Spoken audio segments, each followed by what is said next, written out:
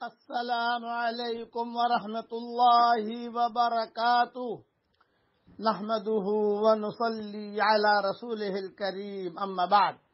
آج کا سبق سن لیجیے۔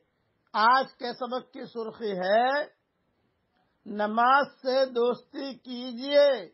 Part number sixty one. حدیث شریف میں آتا ہے، صحیح روایتوں میں آتا ہے، جو فجر کی نماز پڑھ لیتا ہے وہ اللہ کی حفاظت میں آ جاتا ہے۔ مسلم اور ترمیزی میں یہ حدیث ہے۔ اور جو فجر کی نماز نہیں پڑھتا، وہ جو شیطان اس کے کان میں پیشاب کر جاتا ہے۔ بخاری شریف کی حدیث ہے۔ اب بچہ اگر ہمارے کپڑوں پر پیشاب کر جائے بھائی تین مرتبہ دھو لو، کپڑے پاک ہو جائیں گے۔ لیکن شیطان نے اگر کان میں پیشاب کر لیا، تو کہاں پاک کرنے جائیں گے ہم؟ اور کون سے پانی سے پاک کریں گے؟ اس لیے نمازوں کا اہتمام کیجیے اور نا امیدی نہ ہوئیے۔ اگر کوئی بچہ، کوئی بچی نماز نہیں پڑھتی، آپ کا کام ہے، ہمارا کام ہے دعا کرنا۔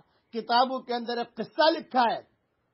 ایک اللہ والے دوپہر کے وقت میں گزر رہے تھے اور ایک آدمی شراب کی دکان کے باہر بالکل گندے نالے کے قریب لچ پت پڑا ہوا تھا۔ اللہ والے نے اس کا چہرہ دھویا اور اس کے کپڑے بدلے اور اسے اٹھا کر اس کے گھر تک پہنچا دیا۔ وہ اللہ والے کتابوں میں لکھا رات آئی تحجد کے وقت میں تحجد کے مسلح پر مسجد میں پہنچے۔ تو سب سے پہلے وہ اللہ والے پہنچتے تھے۔ تو کتابوں میں لکھا ہے کہ اللہ والوں نے دیکھا کہ مجھ سے پہلے بھی کوئی پہنچا ہوا ہے۔ بھائی مجھ سے پہلے مسجد میں کون آیا؟ قریب جا کر دیکھا تو وہی شرابی تھا جس کا چہرہ دھویا تھا، جس کے کپڑے بدلے تھے، اور وہ مسجد میں آ کر تحجد کی نماز ادا کر رہا تھا اور اللہ کے سامنے رو رہا تھا۔ تعجب ہوا بھائی کیسے ہو گیا ہے؟ غیب سے آواز آئی، اے میرے بندے، تو نے اس کا چہرہ دھویا تھا، میں نے اس کا دل دھو دیا، اب یہ میرا نیک بندہ بن گیا۔ اس لیے مایوس بھی نہ ہونا چاہیے۔ کتابوں میں لکھا ہے، بعد میں چل کر یہی شرابی بہت بڑے اللہ والے بنے، جن کے ہاتھ پر کئی لوگوں نے توبہ کیے اس لیے نمازوں کا اہتمام کیجیے خاص طور سے فجر کی نماز کا اہتمام کیجیے میرا ایک دوست تھا، وہ جب بھی فجر کی نماز چھوٹ جاتی تھی، تو مجھے کہتا تھا مول صاحب، یہ حدیث مجھے یاد آتی ہے، جو آپ بیانوں میں کہتے ہو۔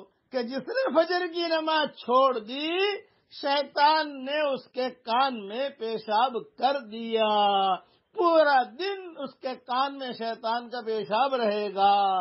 اور جو زندگی بھر نہیں پڑتا فجر کی نماز، کتنا پیشاب جائے گا شیطان کا؟ اس کے کان، شیطان کا پیشاب کتنا جائے گا؟ یہ بتاؤ۔